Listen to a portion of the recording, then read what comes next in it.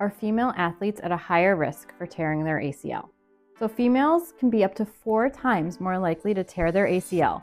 Let's talk about some reasons that are true and some that aren't. So, the first one neuromuscular control. So, neuromuscular control is your brain's ability to control where your body is going. So, this is true. If we have some impaired neuromuscular control, we are at a higher risk to tear our ACL.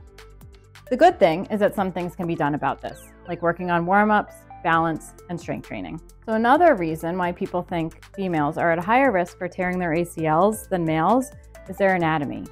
I'm here to tell you that's not necessarily true. The research actually doesn't support that females have wider hips than men or that the notch where their ACL sits is smaller. These are all dependent on the individual person themselves. The next factor that might contribute to more ACL tears in females is our hormones. This might be true. The research is kind of inconclusive with this one.